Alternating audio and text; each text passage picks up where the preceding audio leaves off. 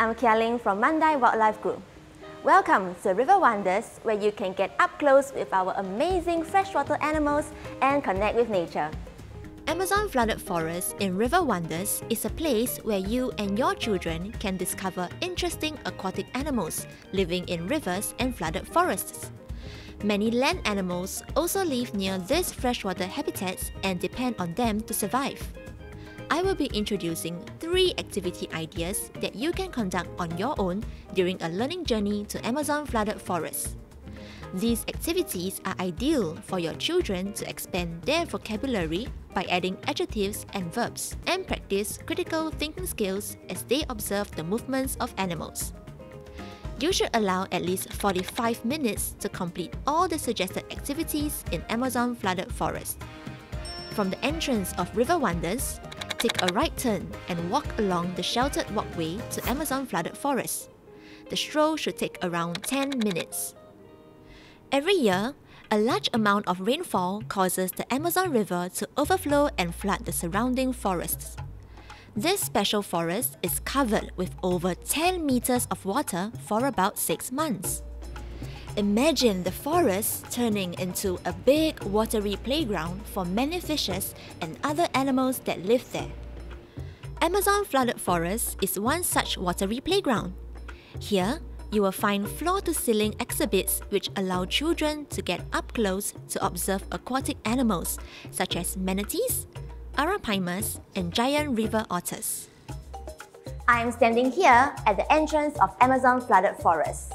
Before you head inside, gather your children here and help them understand the three essential agreements, otherwise known as child behavior guidelines. Here's what you can say to the children. Say it like I do. To see animals well, we need to do three things. One, we need to use our walking feet and stay together. Two, we need to keep our hands to ourselves, especially when viewing the animals.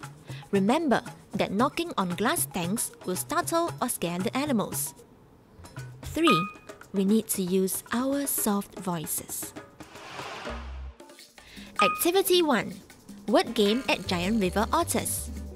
To improve the observation and language skills of your children, start Activity 1 by playing this word game using two categories water and land. Gather your group in front of the Giant River Otter exhibit and prompt your children to think of words associated with water, like river, swim, flood, rain, stream, and so on. Say it like I do.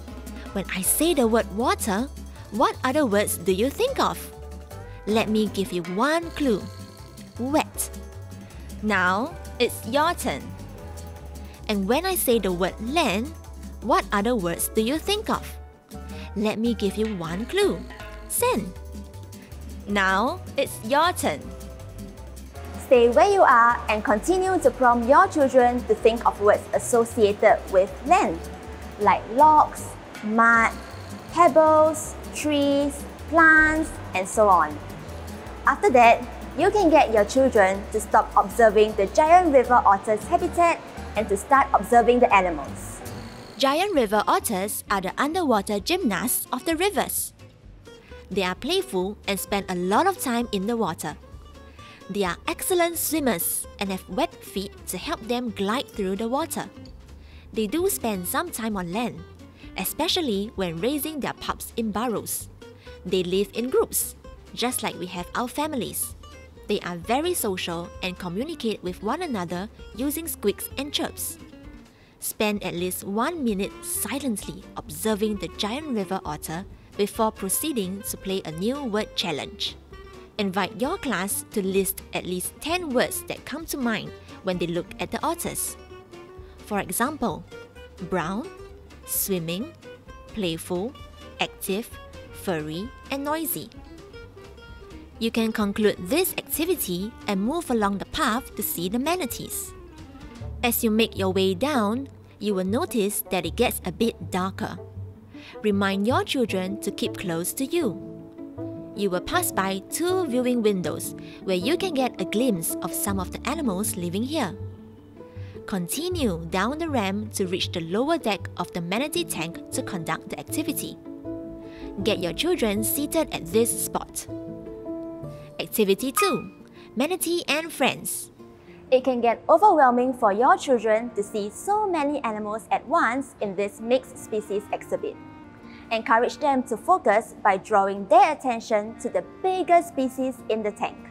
Start your see, think, wonder thinking routine here. Say it like I do. Can you see the big animals here? Those are manatees. Manatees are mammals that live in water. Which body part do you think helps a manatee swim? I wonder how long they can hold their breath.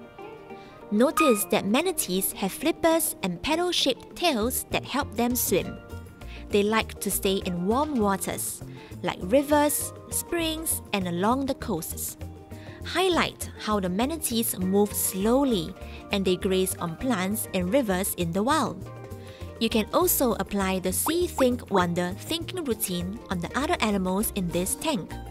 For example, you can observe the arapaima, a giant fish. They live in rivers and are enormous and long. Say it like I do. Name the body parts of the arapaima. Arapaimas are fishes that have a large body, fins, and tail. Which body part do you think helps the arapaima swim? I wonder if they move the same way as the manatees.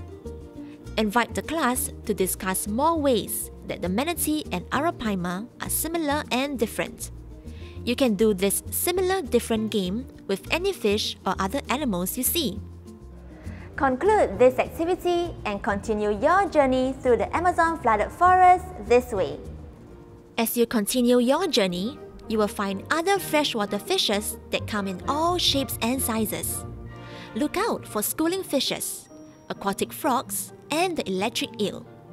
Keep your children focused through movement activities as you move from tank to tank.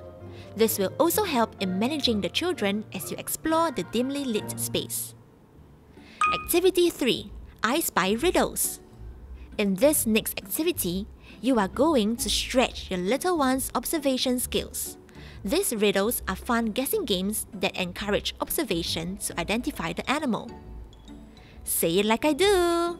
The next animal we are going to find swims in the water, but it is not a fish. When it was young, it didn't look like this. Let's swim to find the next animal. At the exhibit, get the children to observe how the Titicaca water frog moves and to mimic its movement. The Titicaca water frog is quite distinctive in appearance. It has a plump, rounded body with loose, wrinkled skin that resembles a saggy pouch.